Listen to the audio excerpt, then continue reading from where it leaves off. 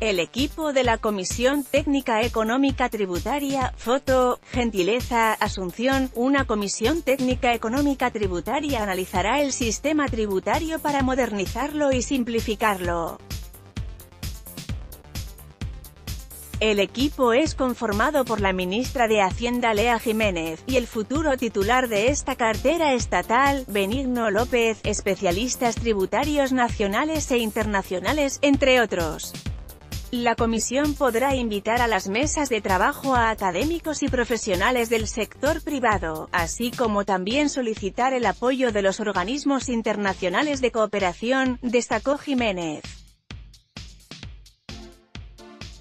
Por su parte, López valoró la conformación de un comité técnico especial, asegurando que permitirá ganar tiempo en cuanto a las decisiones que se deben tomar de inmediato, una vez que asuma el gobierno de Mario Abdo Benítez.